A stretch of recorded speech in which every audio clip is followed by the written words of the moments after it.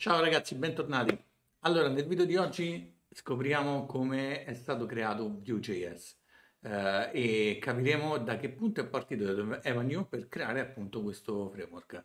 Eh, inizieremo guardando la prima repo che è stata il primo commit, veramente, il primo e il secondo commit che sono stati creati e andiamo subito a guardare la, la repo e scopriamo qual è la prima riga di codice che eh, Evan ha scritto e la prima implementazione di Vue.js. Allora, ehm, ho scaricato già in locale una copia della, uh, della, della repo. La repo la troviamo al, nel, um, sul, sull'account GitHub di, di Vue.js e dobbiamo però tornare un po' indietro nel tempo, circa 9 anni indietro nel tempo, alla versione 0.6.0. Uh, eh, quindi la troviamo sotto, non sotto branches ma sotto tags e, um, e possiamo scoprire qual è stato effettivamente il primo commit. Quindi il primo commit è stato fatto nel, 2000, nel 2013 a luglio e um, il setup. Quindi questo primo uh, setup andiamo a dare un'occhiata alla, alla, storia di questo, alla, storia, alla struttura delle cartelle in, in, questo punto nel tempo. Quindi nove anni fa uh, la struttura di VGS era molto semplice, SRC, questa cartella dove c'era appunto il codice sorgente, la cartella test e poi un, una, una serie di file di configurazione. Quello che a noi effettivamente interessa è scoprire qual è il primo uh, file o comunque il primo, uh, le prime righe di codice che Evan ha scritto e io ritengo che siano appunto queste dentro la cartella test. Uh, nella cartella test abbiamo un, un file test.js. Qui dentro troviamo var element uguale require element. Quindi qui sta importando qualcosa da qualche parte.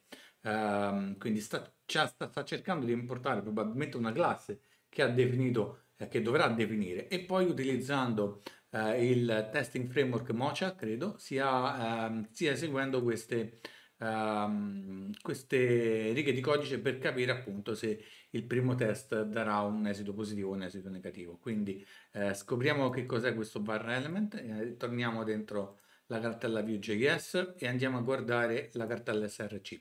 E qui vediamo che c'è un file main.js, è abbastanza vuoto, c'è un module export 1, 2, 3. Quindi qui dentro sta facendo un export di questo, uh, di questo, di questo numero.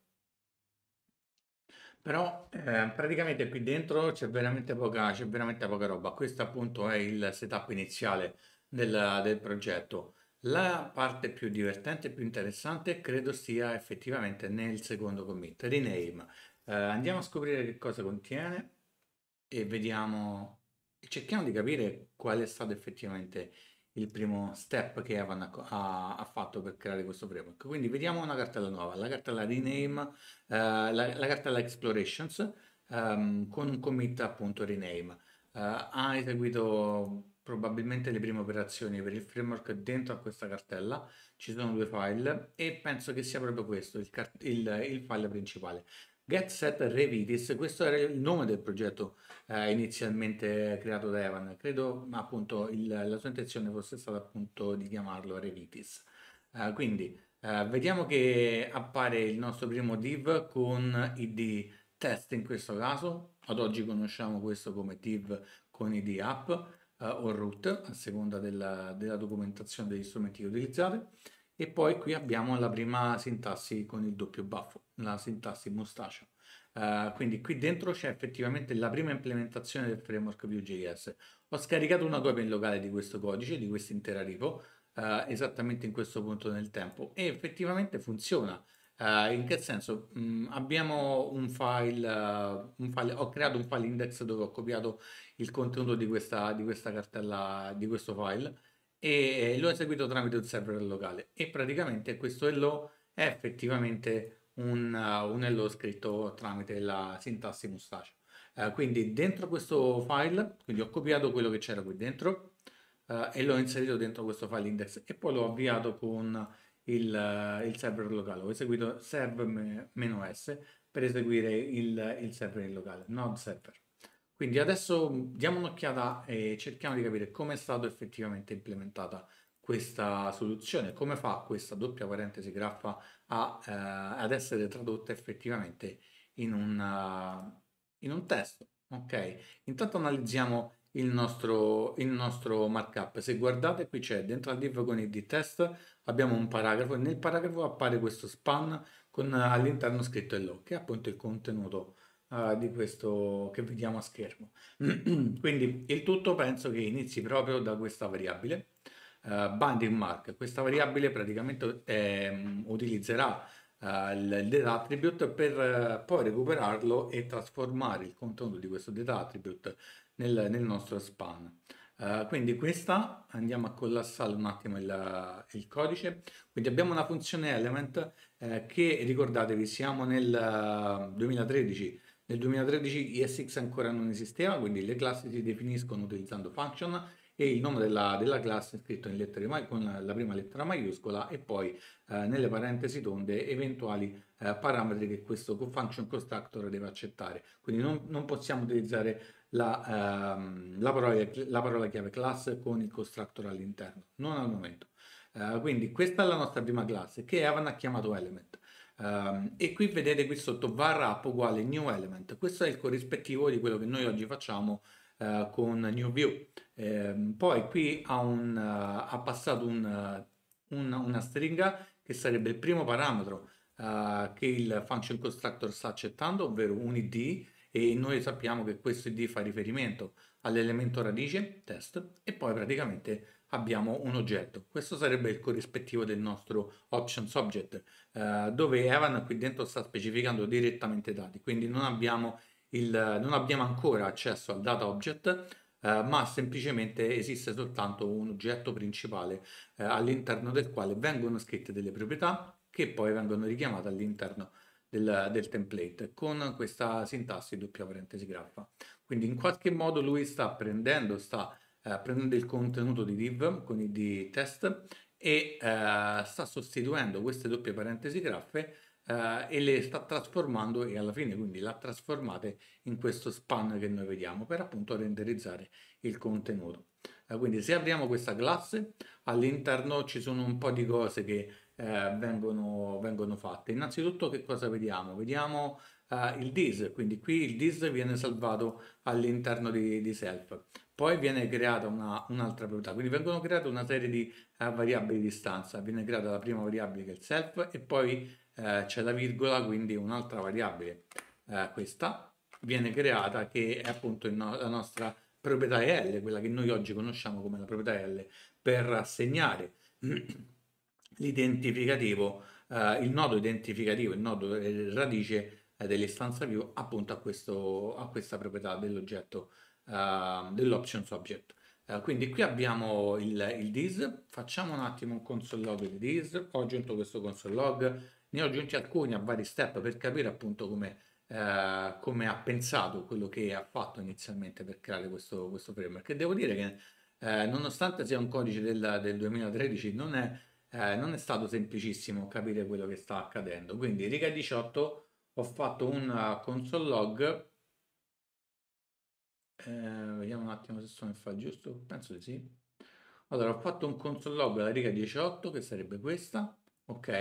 E stiamo ottenendo un, um, un elemento. Quindi questo dis effettivamente fa riferimento alla classe, come ci aspettavamo, quindi il dis fa riferimento alla classe all'interno della quale si trova, quindi fa riferimento all'istanza. Eh, vediamo che l'istanza ovviamente in questo punto già contiene già eh, il, data object con dei, dei, valori all'interno e la proprietà EL che effettivamente contiene questo nostro eh, identificativo. Quindi qui è stata creata una, una variabile d'appoggio per il dis e poi una variabile EL eh, che sfrutta questa variabile d'appoggio, quindi effettivamente sfrutta il dis, fa dis.l, quindi crea una proprietà EL all'interno uh, dell'istanza e poi quindi dell'istanza view la possiamo chiamare oppure la possiamo chiamare dell'istanza element, visto che per il momento si chiama element. E poi uh, quindi uh, sta creando questa proprietà EL, um, ehm, questa variabile EL, quindi è, è, definita con var, crea una variabile EL che poi utilizzerà eh, in appoggio alla quale assegna il valore di self.el, quindi in questo punto sta creando una proprietà EL all'interno dell'oggetto sfruttando però self e non direttamente this e poi quindi a queste due, eh, a questa proprietà e a questa variabile sta assegnando il contenuto di document.getElementById ID, ID che è appunto la proprietà che questo function constructor sta accettando e che eh, viene passato in fase di inizializzazione della classe, ovvero qui. Ok, quindi sta effettivamente selezionando tramite get element by id il nostro div principale che diventerà l'elemento eh, radice di, una, di un'applicazione più. Eh, poi praticamente se facciamo il console log di self.el a questo punto scopriamo che eh, self.el appunto conterrà dove sei? Rifacciamo la pagina allora, conterrà questo nodo della DOM, quindi questo div con id test, che all'interno appunto contiene tutte le varie proprietà che solitamente troviamo nei nodi della DOM. Um, quindi un attimo che decommento questo, decommento quest'altro e andiamo a guardare, quindi dobbiamo scoprire come fa a funzionare queste doppie parentesi graph se continuiamo ad andare avanti vediamo che qui sta definendo due, due variabili um, due variabili globali, la, la, globale bindings e la globale data, uh, e uh, contestualmente sta creando uh, per la, la, globale data anche una proprietà data all'interno dell'oggetto, quindi dell'istanza element, alla quale assegna un oggetto vuoto. Stessa cosa per bindings. E qui c'erano due commenti, internal copy ed external copy, external interface. quindi penso che questo sia ovviamente la parte interna che noi troviamo all'interno dell'oggetto data, mentre questo eh, è, è, ehm, è, lo stesso oggetto però che viene eh, definito all'interno del, credo dell'oggetto window. Uh, poi qui sotto effettivamente accade quello che, che, stiamo cercando, ovvero il modo in cui Evan è riuscito a far uh, funzionare questa sintassi. Quindi qui uh, con, sta creando un'altra un'altra globale che ha chiamato content eh, alla quale sta assegnando eh, il valore di EL, ovviamente l'elemento radice, quindi il div con id test, eh, e il suo contenuto interno HTML, quindi tramite inner HTML e poi utilizza punto .replace. E al punto .replace che è una, uh, un metodo che possiamo applicare appunto alle stringhe che esisteva uh, già nel 2013, Uh, sta utilizzando quindi per il uh, search value, quindi come primo parametro uh, abbiamo bisogno per il replace di un valore da ricercare. In questo caso sta utilizzando una regular expression che se, ehm, se, viene appunto, se nel, nel, testo, quindi nel contenuto del, dell'elemento radice ehm, viene, viene trovata, il match poi verrà praticamente gestito dal secondo parametro, ovvero dalla, da questo mark token Uh, questa è una funzione che accetta un match ed una, ed una, variabile. Tra un secondo scopriamo che fanno. Intanto guardiamo un attimo questa regular expression, che cosa effettivamente fa. Quindi la regular expression inizia da questo, da questo punto. Uh, andiamo sul sito regex 101 e andiamo a copiare questa regular expression e vediamo se effettivamente uh, riesce a, a trovare il, eh, un match quando noi qui dentro scriviamo qualcosa tra le doppie parentesi graph. Cioè, ok, uh, vedete che qui c'è un match, un match è stato trovato e quindi la regular expression che cosa fa? Um, effettivamente sta uh, verificando se um, viene trovato il carattere mh, con quindi questo carattere, la parentesi graffa. Eh, e lo, lo, verifica due volte, quindi la prima volta è questa e la seconda volta è questa. Poi all'interno delle parentesi tonde c'è un group, un group capturing eh, e all'interno di, di, questo gruppo quindi viene catturato qualsiasi eh, testo, quindi questo è un uh, raggruppamento che ci permette di uh, trovare uh, il, qualsiasi tipo di testo che viene scritto effettivamente all'interno di queste parentesi ed estrapolarlo. quindi il group capturing utilizza il punto che effettivamente mm, fa un match di, di qualsiasi caratteri, eccetto una, un terminatore di una riga, e poi l'asterisco che, eh, che trova un riscontro tra i precedenti ehm, caratteri tra l'1, 0 e un infinito, quindi un'infinita quantità di volte. Uh, quindi, dopodiché viene fatta la stessa cosa, soltanto al contrario, utilizzando la chiusura delle parentesi graffe. Quindi effettivamente questo sta creando due match. Il primo match eh, il, il gruppo, l'intero, l'intero, quindi l'intera stringa che viene passata e poi il group match, quindi eh, la parte, il gruppo che viene catturato, ovvero il contenuto eh, di queste, che c'è all'interno di queste doppie parentesi graph. Quindi grazie a questa uh, selezione invoca poi una, una closure, una funzione di callback, quindi questa funzione viene definita più avanti e eccola qui. Quindi qui se facciamo un console log di match, quindi questo, questo metodo effettivamente eh, di base praticamente riceverà due parametri grazie a questa a questo replace, quindi questo metodo replace ci dà la possibilità di passare due parametri eh, alla, alla, nostra funzione di callback. Il primo parametro è il match, quindi in questo caso il, um, il riscontro che viene trovato, quindi l'intero riscontro, e poi la variabile, quindi quello che contiene il nostro, uh, group, uh, il nostro gruppo, quindi questo um, group capturing, quindi il testo che viene catturato dentro a questo gruppo, quelle parentesi tonde. Uh, quindi effettivamente match contiene l'intera eh, sintassi doppie parentesi graffe e msg e poi variable che in questo nostro caso contiene appunto soltanto il testo msg che deve appunto, dovrà appunto essere trasformato in, un, uh, in uno span come vediamo più sotto.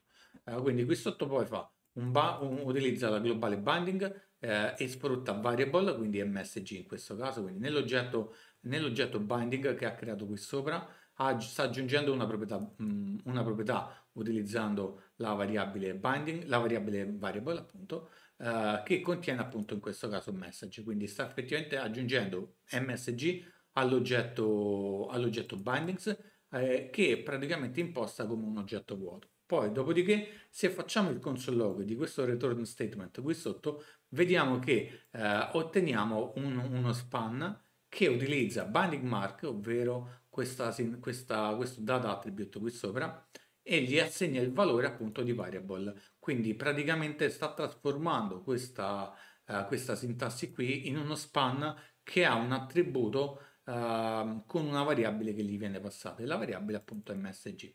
Se andiamo ad analizzare uh, la, la, console, quindi andiamo a vedere la console, vedremo che console.log e tutto quello che viene scritto qui dentro, quindi span, poi binding mark più uguale, quindi sta aggiungendo a binding mark, ovvero uh, data, data, element binding, uh, sta assegnando un valore che è il valore appunto di variable e poi chiude lo span.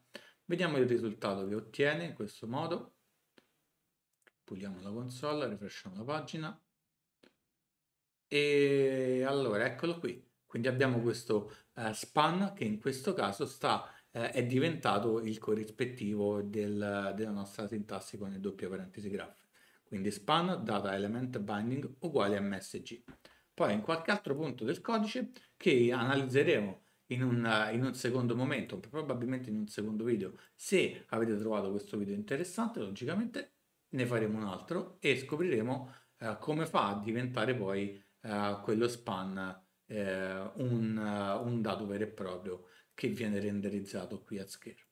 Se vi è piaciuto il video lasciate un like, mettete un commento per farmi sapere se vi piacciono questo tipo di video e ci vediamo alla prossima. Ciao!